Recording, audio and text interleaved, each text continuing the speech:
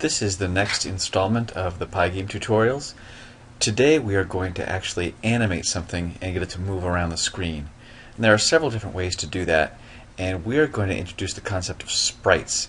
And all a sprite is is just an object that can be moved out, out of the screen, around the screen.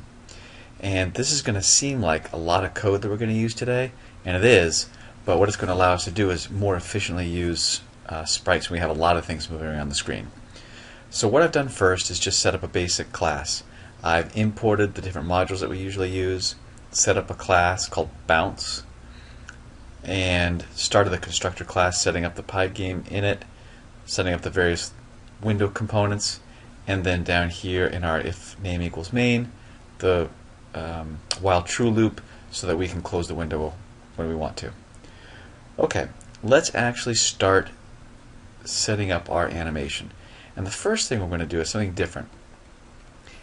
Usually up here we just leave this as object, and that means that it's in, it's a subclass of the object class. So we're anything that, that can deal with an object we're going to inherit into our bounce class.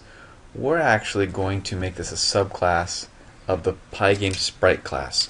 So we're going to put Pygame sprite sprite. And what that's going to allow us to do, it's going to have access to all the different sprite methods. We're not going to use a lot of them today, but we're going to do that in the future.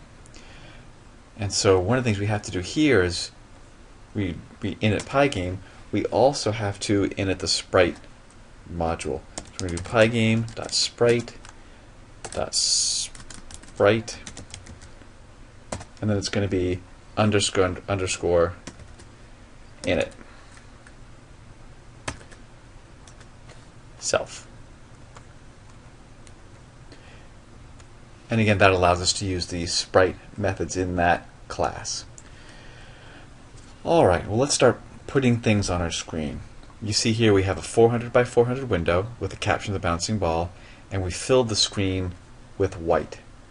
So what we're going to do is we're going to make a frame that we can move around. We're going to make a, a little container for our, our circle. And so in the same way in, in tkinter we made frames for different things, we're going to make a little, we'll call it ball frame, and that's going to equal a pygame surface. And again, a surface needs a size. So we're going to make this 50 by 50, which is going to be the size of our ball that we're going to use. So we've just set up a little frame, and we are going to fill that with white as well. So we'll do the same thing as we would the screen. 255, 255, 255.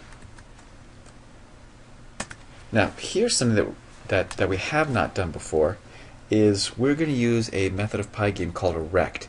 And it's different than the draw rect where we draw a rectangle. What this does, this is going to give us coordinates of our frame and then we can actually use those coordinates to move our frame around the screen. And we'll see how we do this in a few minutes. So we're going to do self dot rect equals actually well let's make this ball rect equals self dot ball frame dot get rect. And what that does that's going to return a tuple of coordinates. It's going to be the the uh, upper left hand point and then the width and height of our rectangle. Sort of similar to a drawing a rectangle but this rect is like a container that we can then move around the screen. Alright, and we are going to say that the self ball rect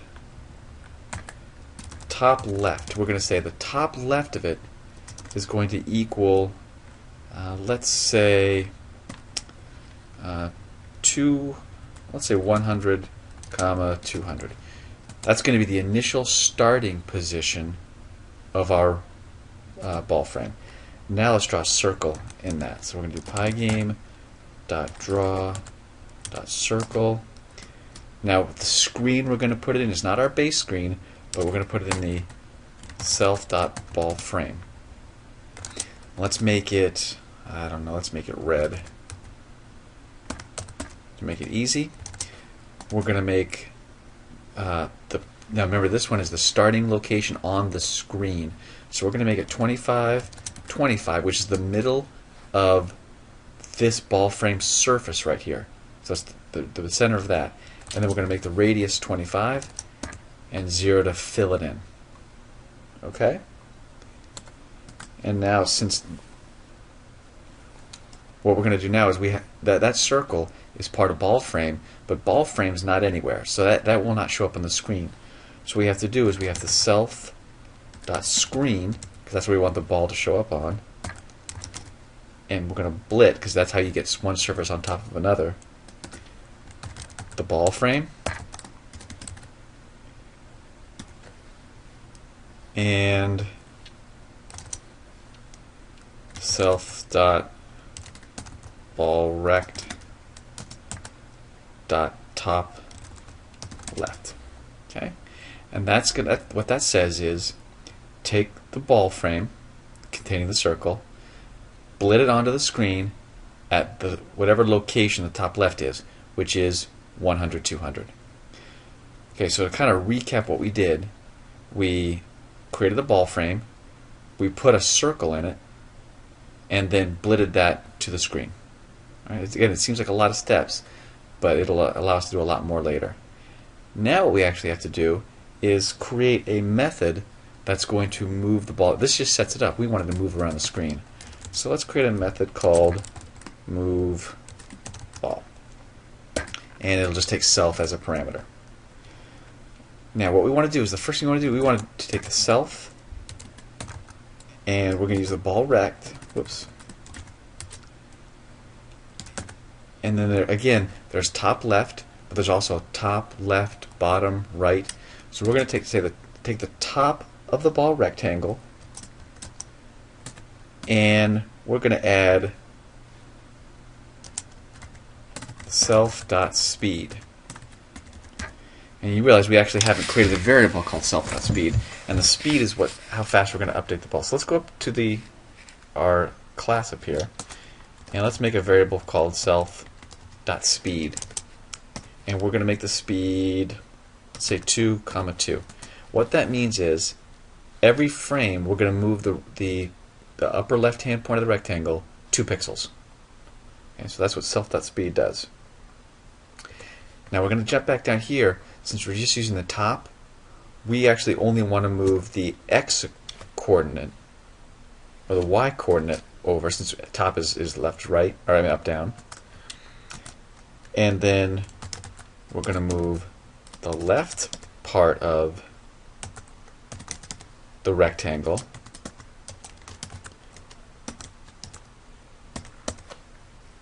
That much okay? So we're going to move remember 0 means this coordinate so that's the x coordinate.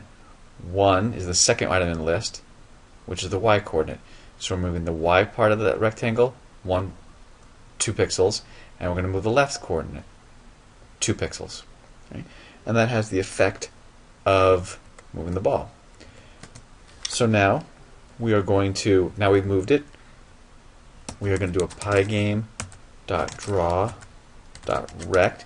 We're going to, now we're going to draw a, a rectangle to cover up the screen so that we can update our animation in the same way we did with the uh, coordinates of the mouse when we did at the last tutorial. We're going to draw that rectangle on our base screen and we are going to make it a white rectangle so it covers up everything on the screen. And our coordinates, we're going to start in the upper left hand corner and we're going to make it the same size as our screen and fill it in. So now we've drawn that rectangle. And now we're going to, again, blit our ball in its updated location. So self, we're going to put ball frame onto the screen. And the coordinates we're going to use are the ball rect because we've moved it one, we've moved actually two pixels to the left, or two pixels down and two pixels over. And now we have to update the screen. So pygame dot display update. Alright, so now what we have to do is let's go back to our main loop. And if we don't quit, we want every so every time it gets to this loop, we want to actually do that move ball. Remember, so we're going to start out with whoops. We created an instance of the class called ball, and we want to do the move ball method. Now, there's one other thing we want to do, because if we do this, our you know modern computers go so fast that that ball is just going to jump off the screen. So we're going to go back to the top, and we're going to import the module time, and we're just going to do time. We're just going to sleep the computer for about uh, two tenths of a second, so that it'll just give the, the, the screen time to catch up. So let's go ahead and save that and run it. And you can see the ball kind of inching across the screen. Probably should speed it up a little bit. Let's see what happens when it hits the screen. It goes right off, and it's going to keep going forever. So that's not good. So we've got to figure out how to keep our ball on the screen. So let's let's first of all let's change this to 0.02 so it goes a little bit faster. Let's see how that looks. And it goes off the screen. Okay. Well, let's go back up to here and let's try to tell it if it hits the if it hits the screen what to do.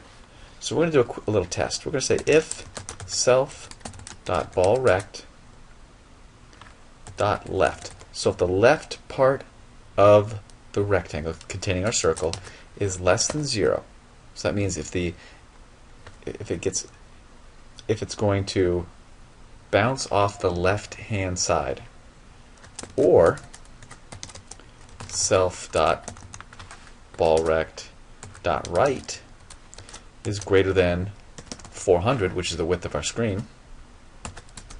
We want to reverse direction. So that so remember these are our x coordinates. So we're going to do self dot speed 0 is going to equal negative self dot speed 0 what that, that says is if the left part of the rectangle gets less than 0, switch direction. Now we're going to do the same thing for the y direction. Self dot ball rect dot top is less than 0 or self dot ball rect dot bottom is greater than 400 self dot speed. And we're going to use 1 this time. That's the x coordinate is equal to negative self dot speed 1 okay? So we've just said if the if the left boundary is less than 0 or the right boundary is greater than 400 switch direction. If the top is gets less than 0 or the bottom is greater than 400, switch direction in the y direction. So let's go ahead and save this and run it and see what happens. You can see now our ball bounces around the screen. And so we've created a very basic animation. What we'll do next time is look at uh, one way to kind of streamline our code so it's easier to change and we'll talk about using multiple sprites. So let's get we'll get several things bouncing on the screen and ways to do that a little bit more efficiently. So thanks for watching. Have a great day.